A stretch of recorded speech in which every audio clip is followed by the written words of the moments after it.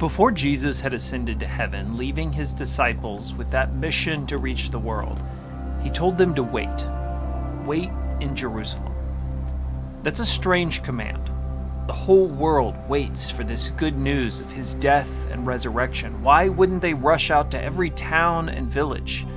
How could they not proclaim this message of salvation and forgiveness? But Jesus told them to wait he told them to wait so that they might receive help from the Holy Spirit, power. Standing on the mountain before his ascension, Jesus commanded them, Do not leave Jerusalem until the Father sends you the gift he promised. As I told you before, John baptized with water, but in just a few days you will be baptized with the Holy Spirit. But you will receive power when the Holy Spirit comes on you you will be my witnesses, telling people about me everywhere in Jerusalem, throughout Judea, in Samaria, and to the ends of the earth. The disciples had their calling, their commission, but Jesus promised them a descending power by which they would reach the world. They would receive a baptism in the Holy Spirit. So they returned to Jerusalem and waited. One of those waiting disciples was Peter.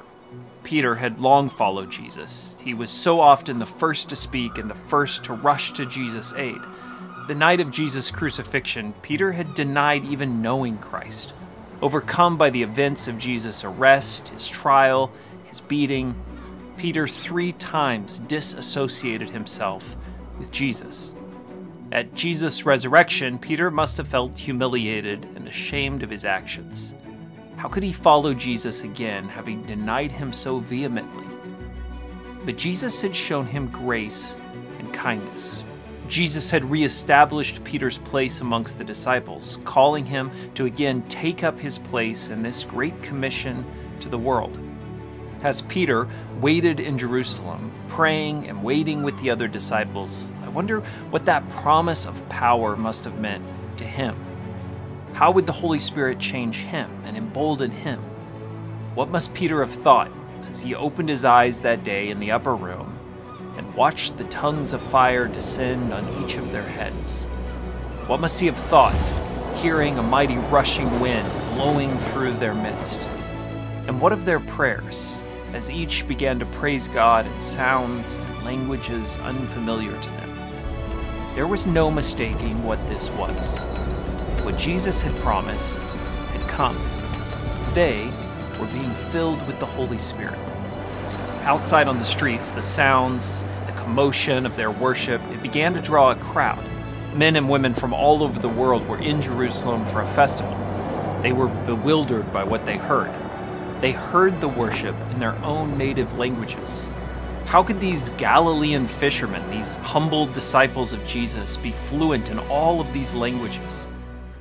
Parthians, Medes, Elamites, people from Mesopotamia, Judea, Cappadocia, Pontus, the province of Asia, Phrygia, Pamphylia, Egypt, and the areas of Libya and from Cyrene, visitors from Rome, both Jews and converts to Judaism, Cretians and Arabs.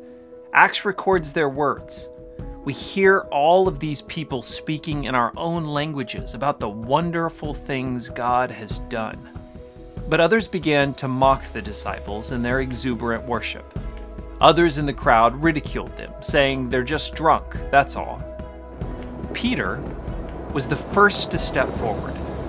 The man who had days ago feared to admit even knowing Jesus now proclaimed him to the masses. They weren't drunk. This is what long ago had been spoken of. This was the work of God.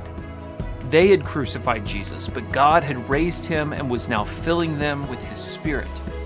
Peter looked at the crowd and continued Each of you must repent of your sins and turn to God and be baptized in the name of Jesus Christ for the forgiveness of your sins. Then you will receive the gift of the Holy Spirit. The power the disciples received that day did exactly what Peter had predicted. It spread to towns and villages across the world where Christ and his gospel was preached, people were baptized and filled with the same Holy Spirit.